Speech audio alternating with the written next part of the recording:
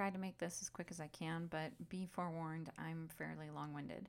So I'm starting with this image in Lightroom.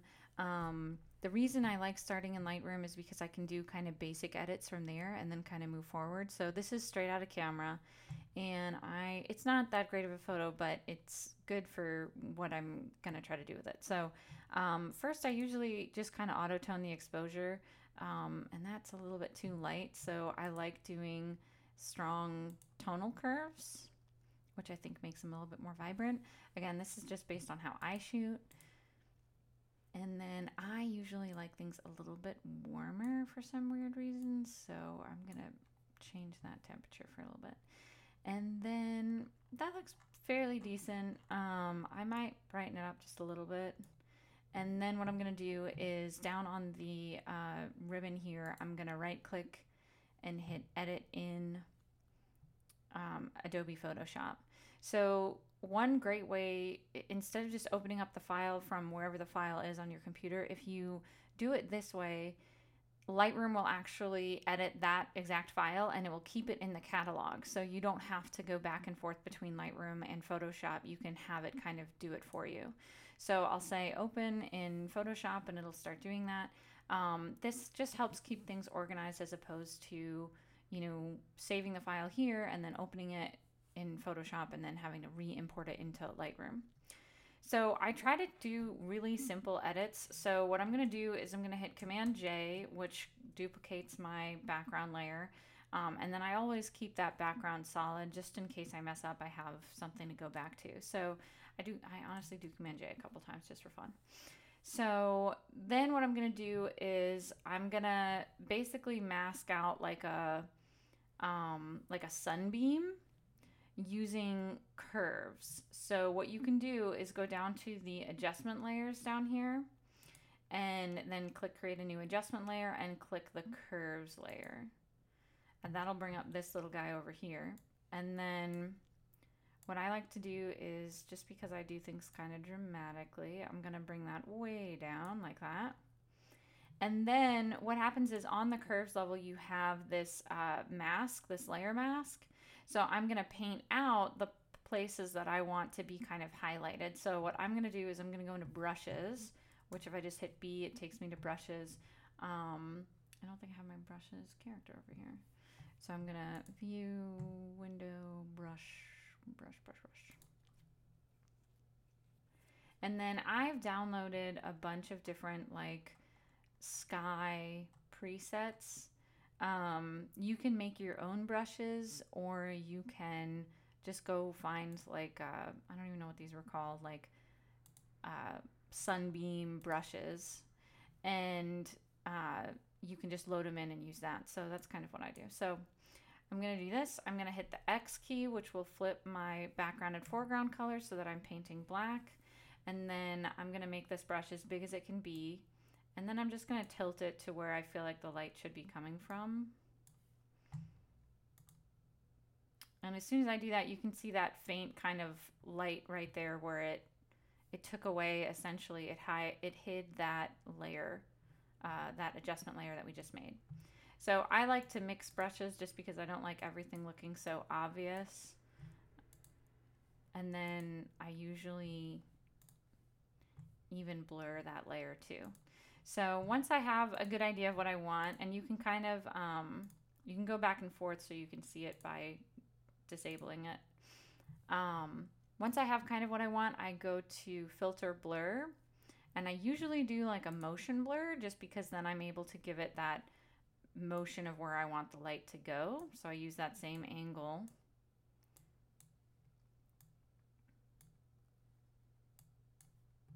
and something like that. And you can play around with what it would look like.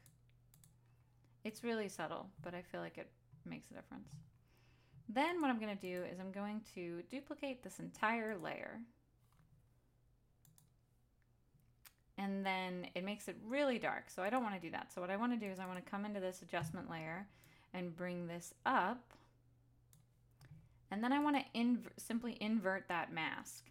So Command I just inverts that layer. And all that does is it, so what I did at first was I put dark on all one area and now I'm making that other area lighter.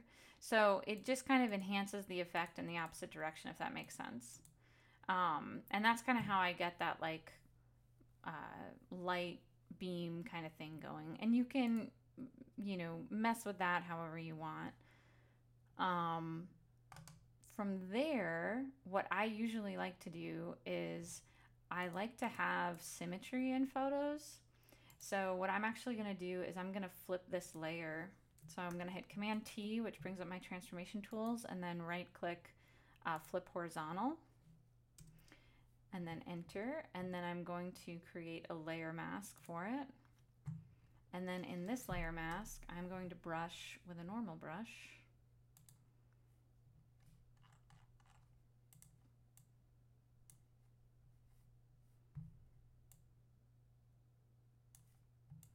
I'm going to brush out my dog. So does that make a little bit more sense?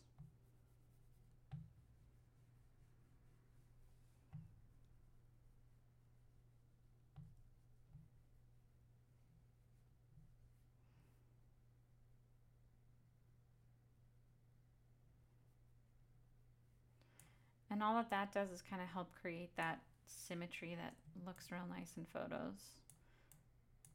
And if it's something like this where you can't really tell what it would be anyway, I think it just kind of helps bring it all together.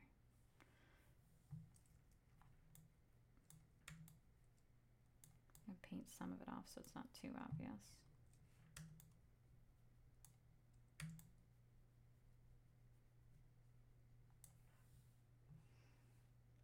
Put those filters back on. And that's what's so great about having these as different layers is that you can just pull them above. So you don't have to have like if you you know if you were to paint that in photo it would be a lot different. So the last thing that I like to do is I like to do a dodge and burn layer of the dog. So this is actually my dog Charlie.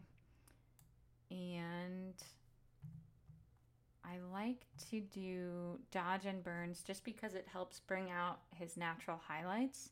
And what I usually do is I overkill it on one layer and then I can drop the opacity down when I need to. So um, I'm going to hit the dodge, which is going to make things darker.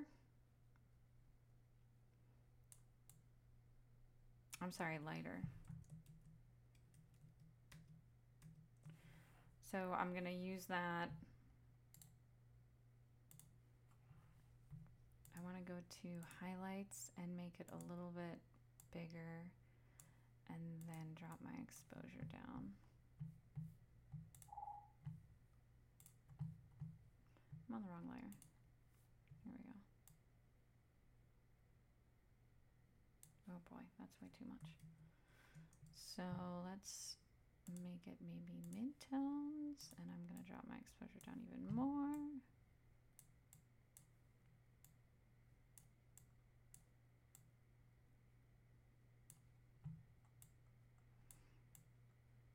And I'm kind of just going on what his natural uh, highlight areas are anyway, but you can do this to make, I mean, even with like a person, I've seen people do it. It's kind of like contouring. You can you can make a person's face look thinner or um, uh, like thin out arms or anything doing this. It's pretty neat. So now that I have that, I'm going to go to burn and I'm going to do basically the same thing in the opposite direction.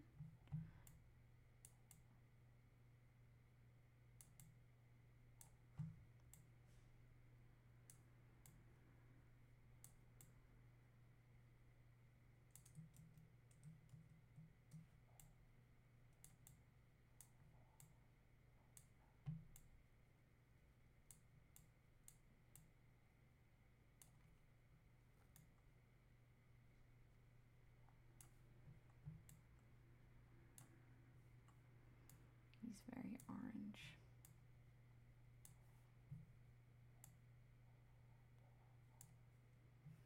Okay. So you can see it just makes it a little bit more of a dynamic effect on the dog. I'm actually going to tone that down because I don't like how overdone it is. But I like being able to overdo it in the image and then just bring the opacity of that layer down. the last thing that I like doing is a sharpen face layer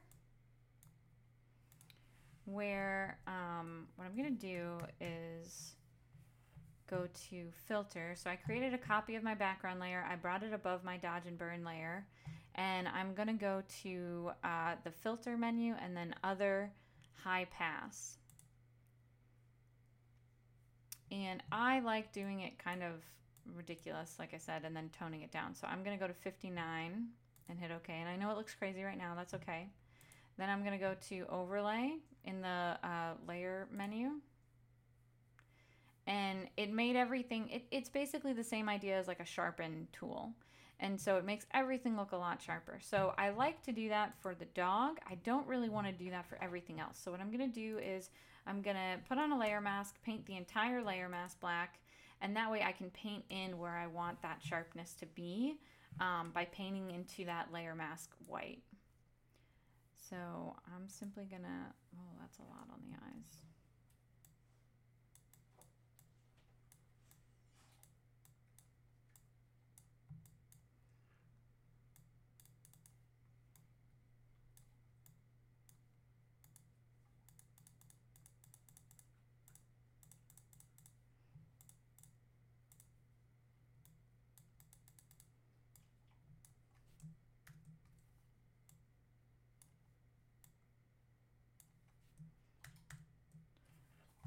Then again, what I can do is just bring that whole layer's opacity down if I don't like it.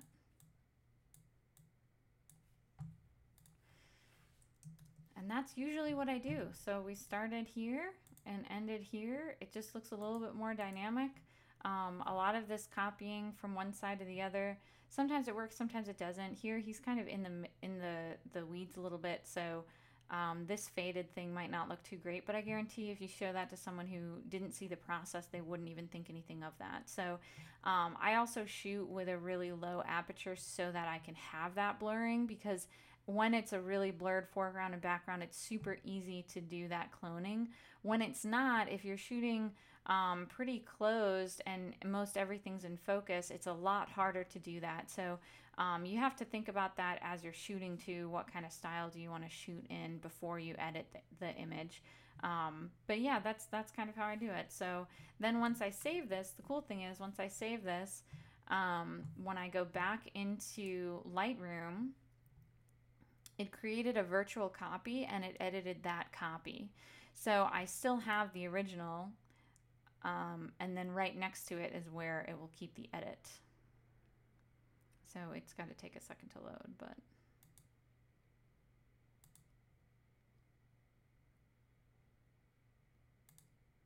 Okay.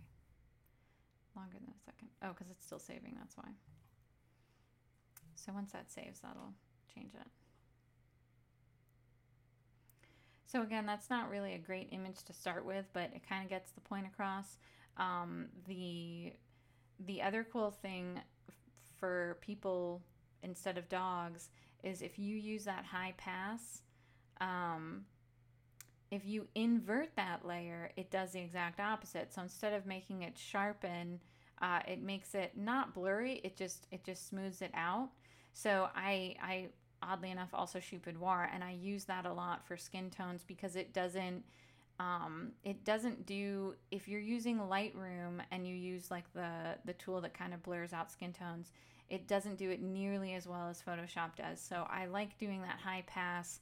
I invert it and then I overlay it and it just kind of smooths everything out and then I can paint in where I want that. So um, I use it a lot for like around the eyes when if they if they're not used to wearing makeup or if the makeup artist isn't that great and they kind of get those lines towards the end of the shoot um, I like to be able to go in and kind of smooth out under and around their eyes. So that works really great for that. And then arms, I feel like women are always really self conscious about arms. So being able to smooth those out helps a lot. So it saved it. So let's see. So here it's the change in Lightroom. Here's, oh, that's not the original image. Here's the original image. And here's the changes that we made in Photoshop. And that's it.